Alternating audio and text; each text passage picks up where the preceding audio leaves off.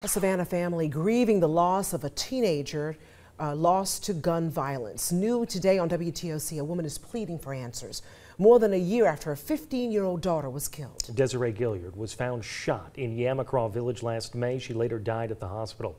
Our Flynn Snyder sat down exclusively with her mother, who is still fighting to keep her daughter's memory going.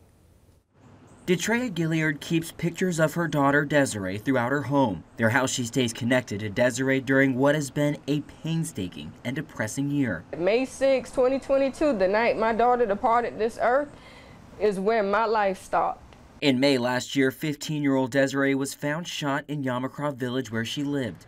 Desiree later died at a hospital. People don't realize unless you have children or lost somebody near and dear to you how hard it is to go on. More than a year later, Gilliard hopes to find more answers into her daughter's death. It makes me really sad, really depressed. Who did this to her and who could leave her out here in such a state? Fearing for her life, Gilliard has since moved out of Yamacraw Village. In January, she sued Savannah's housing authority for the wrongful death of her daughter. The lawsuit claimed negligence, saying the authority failed to properly secure Yamacraw Village and keep out criminals. Just the state of the deterioration, dilapidated buildings, broken windows, it was just already an advanced state of neglect. So they pretty much let Yamacraw go by the wayside. Court documents show the suit was dismissed in March, but with the door open for it to be filed again.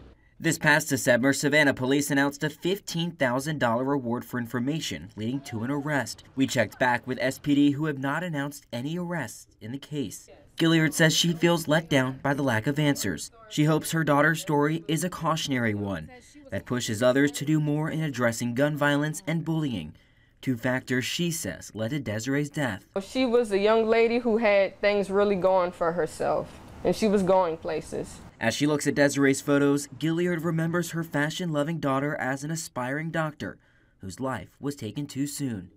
In Savannah, Flynn Snyder, WTOC News.